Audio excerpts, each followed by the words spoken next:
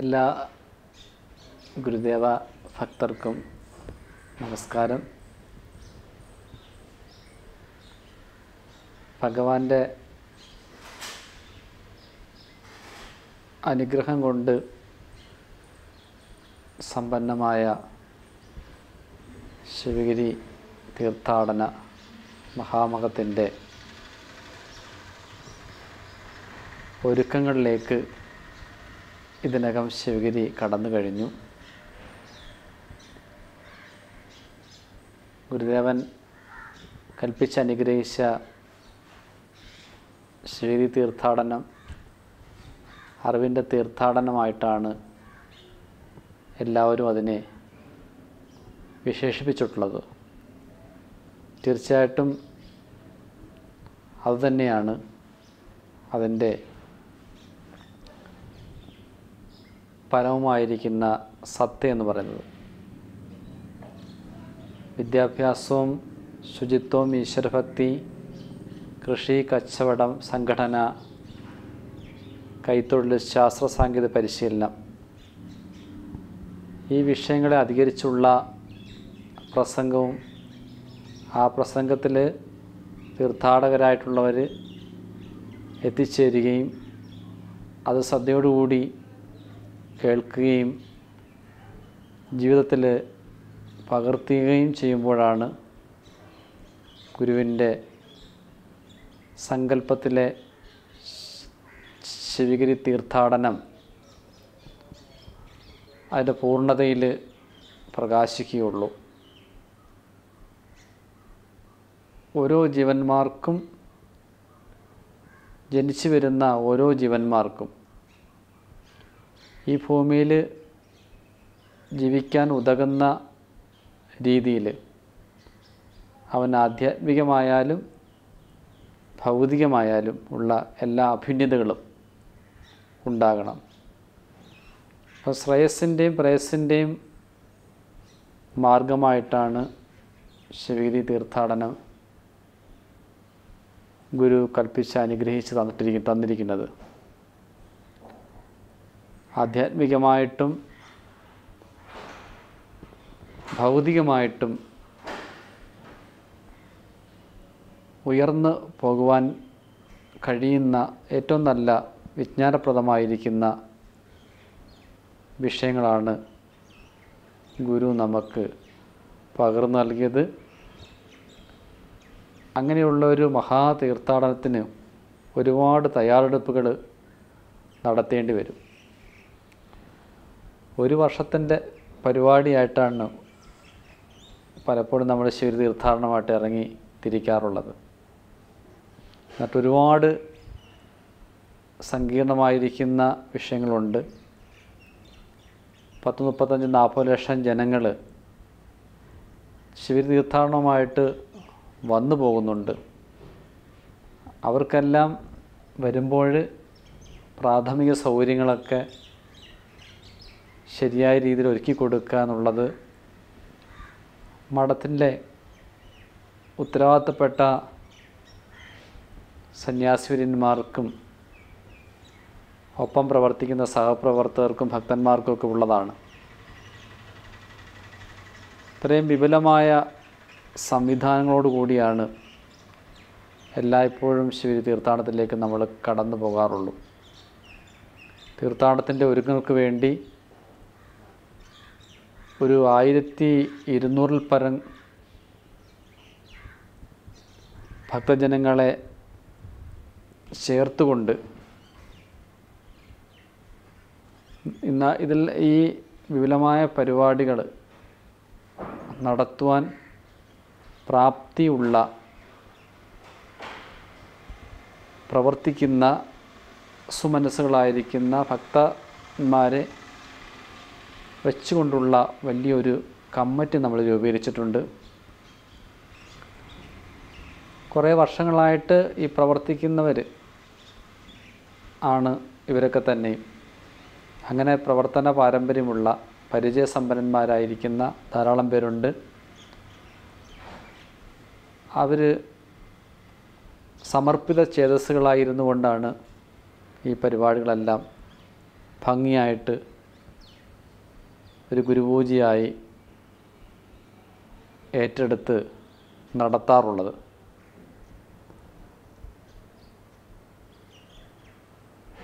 ഇതിനകത്ത് ഈ കമ്മിറ്റിയിൽ ഒരുപാട് സമാന്തര സബ് കമ്മിറ്റികളുണ്ട് ഓരോ കമ്മിറ്റികളും ഓരോ കമ്മിറ്റികളിലും ഒരു പത്ത് നൂറ് അൻപത് കണക്കിന് കൺവീനർമാരും ഒക്കെ അടങ്ങുന്നതാണ്.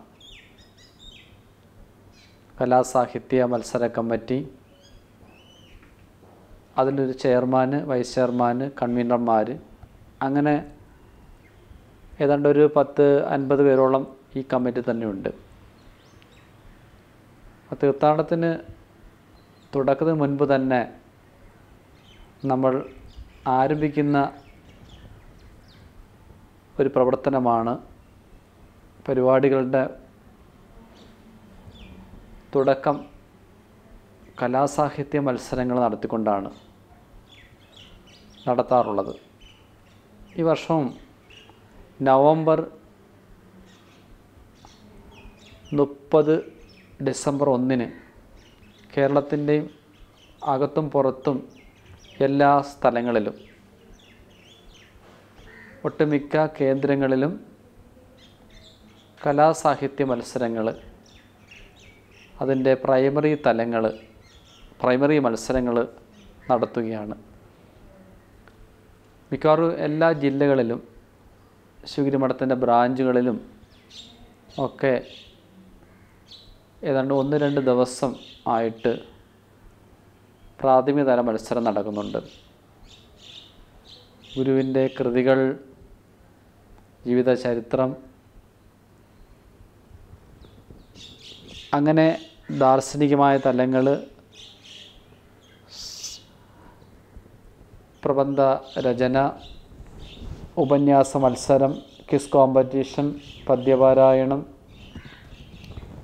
പ്രസംഗ മത്സരങ്ങൾ അങ്ങനെ നാനാവിധമായിരിക്കുന്ന വിഷയങ്ങളോ ബന്ധപ്പെടുത്തിക്കൊണ്ടാണ് ഈ തലം ഞങ്ങൾ സംഘടിപ്പിച്ചിരിക്കുന്നത്. ഇതിൽ ജയിക്കുന്ന ഒരുപാട് വിദ്യാർത്ഥികൾ ഇതിലൊക്കെ പങ്കെടുക്കുന്നുണ്ട് എല്ലാ വർഷവും. ഇതിൽ പങ്കെടുക്കുന്ന പങ്കെടുത്ത് ജയിക്കുന്ന ഫസ്റ്റും സെക്കൻഡും കിട്ടുന്ന കുട്ടികളാണ്. ഫൈനൽ മത്സരത്തിൽ പങ്കെടുക്കുന്നത്. ഒന്നാം ഘട്ടം കഴിഞ്ഞു രണ്ടാം ഘട്ടം ഡിസംബർ ഏതാണ്ട് ഇരുപത്തിനാല് ഇരുപത്തഞ്ച് ഇരുപത്താറ് തീയതികൾ ശിവഗിരി മഠത്തിൽ വെച്ച് നടത്തുന്നുണ്ട്.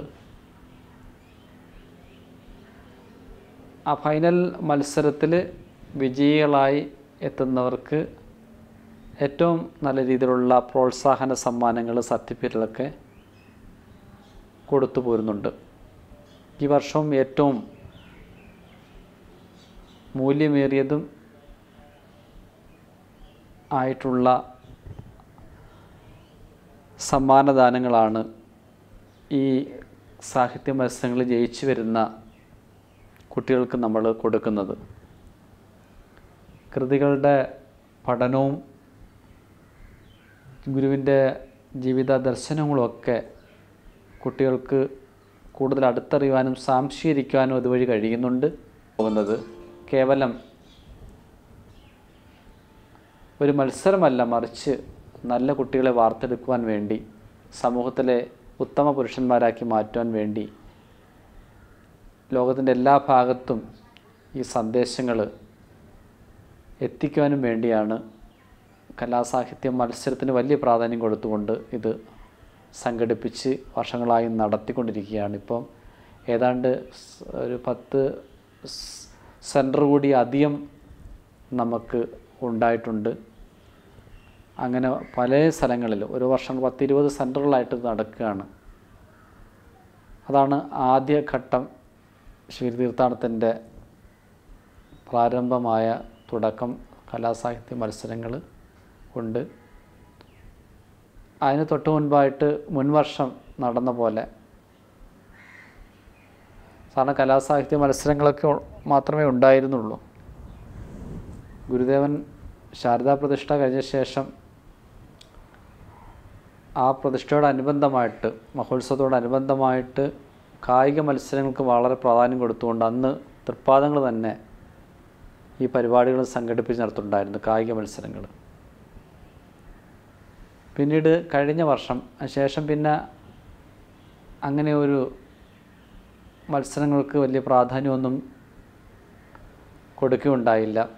ശേഷം കഴിഞ്ഞ വർഷം അത് വളരെ ഗംഭീരമായിട്ട് നമ്മൾ നടത്തുകയുണ്ടായി. കായിക മത്സരങ്ങളുടെ ഒരു വലിയ പരിപാടി സംഘടിപ്പിച്ചു. അതേണ്ട ഒരു മാസത്തോളം നീണ്ടു നിന്നു. ക്വിസ് കോമ്പറ്റീഷനും ചെസ് മത്സരം ബാഡ്മിൻ കബഡി മത്സരം പിന്നെ ഫുട്ബോൾ മത്സരം അങ്ങനെ മാരത്തോൺ മത്സരം ഇങ്ങനെ കുറേ ഇനങ്ങൾ അതിനകത്തുണ്ടായിരുന്നു ഇത്തവണ അത് വിപുലമായ രീതിയിൽ തന്നെയാണ് നമ്മൾ സംഘടിപ്പിച്ചിരിക്കുന്നത്. ഡിസംബർ മാ ഒന്നിന് മാരത്തോൺ മത്സരത്തോടു കൂടിയാണ് കായിക മത്സരങ്ങൾക്ക് തുടക്കം കുറിക്കുന്നത്. അതിന് പ്രത്യേക ഒരു കമ്മിറ്റി തന്നെയുണ്ട് സ്പോർട്സ് കമ്മിറ്റി. ആ കമ്മിറ്റിയിൽ ഇതുപോലെ വളരെ പ്രഗത്ഭന്മാരായിട്ടുള്ള കായിക താരങ്ങൾ തന്നെയുണ്ട്. അതിന്റെ കൺവീനർമാരും ചെയർമാന്മാരുമായിട്ട് പ്രവർത്തിക്കുന്നത്. അപ്പോൾ ഇത് വളരെ നാഷണൽ ലെവൽ ദേശീയ തലത്തിനപ്പുറത്തേക്ക് ആണ് നമ്മൾ ഈ പരിപാടികൾ കൊണ്ടുപോകുന്നത്. ആ രീതിയിലാണ് ഇതിനെ നമ്മൾ ഫോം ചെയ്തിരിക്കുന്നത്. ദേശീയ ശ്രദ്ധ ആകർഷിക്കുന്ന രീതിയിൽ ഏറ്റവും മികച്ച കായിക പ്രതിഭകളെ പങ്കെടുപ്പിച്ചുകൊണ്ടാണ് ഈ പരിപാടികൾ നമ്മളിവിടെ കഴിഞ്ഞ വർഷം നടത്തിയത്. അതിപ്പോൾ ഈ വർഷം അതിനെക്കാട്ടി വിപുലമായിട്ടാണ് സംഘടിപ്പിച്ച് നടത്തുന്നത്. അത് ഡിസംബർ ഒന്നിന് ആരംഭിക്കുന്നു. അങ്ങനെ കായിക മത്സരം പിന്നെ കലാസാഹിത്യ മത്സരം അതിനുശേഷം പിന്നെ ഗുരുവിന്റെ ദർശനവും ചരിത്രത്തെക്കുറിച്ച് അധികരിച്ചുള്ള പ്രബോധന പരമ്പര ദിവ്യ പ്രബോധനങ്ങൾ. ഏതാണ്ട് ഒരു ആറേഴ് ദിവസം അതുണ്ടാകും. അതിന്റെ നടപടിക്രമങ്ങളൊക്കെ നടന്നുകൊണ്ടിരിക്കുന്നു. സമ്മേളനങ്ങൾ അതിന്റെയും നടപടിക്രമം പുരോഗമിച്ചുകൊണ്ടിരിക്കുന്നു. ഈ പറഞ്ഞിരിക്കുന്ന കലാസാഹിത്യ മത്സരത്തിന്റെയും കായിക മത്സരത്തിന്റെയും ശുചീകരണ കമ്മിറ്റി അതുപോലെ തന്നെ പബ്ലിസിറ്റി കമ്മിറ്റി സ്റ്റാൾ കമ്മിറ്റി പിന്നെ ഇങ്ങനെ ഒരുപാട് കമ്മിറ്റീസാണ് പിന്നെ ഫൈനാൻസ് കമ്മിറ്റി പിന്നെ ഗുരുപൂജ കമ്മിറ്റി അങ്ങനെ ധാരാളം കമ്മിറ്റികളുണ്ട്. Accommodation committee. ഈ കമ്മിറ്റികൾ എല്ലാം ഭംഗിയായിട്ട് അവരുടെ പ്രവർത്തനങ്ങൾ മികച്ച രീതിയിലാണ് ഇപ്പം നടത്തിക്കൊണ്ടിരിക്കുന്ന അക്കോമഡേഷൻ കമ്മിറ്റിയുടെ കാര്യത്തിൽ ഒരു പ്രത്യേക കാര്യം കൂടി പറയാനുണ്ട്. മുൻവർഷം നിന്ന് തികച്ചും വ്യത്യസ്തമായി നമ്മളൊരു പ്രത്യേക ഡിപ്പാർട്ട്മെന്റായിട്ട് തന്നെ കൈകാര്യം ചെയ്യുകയാണ്.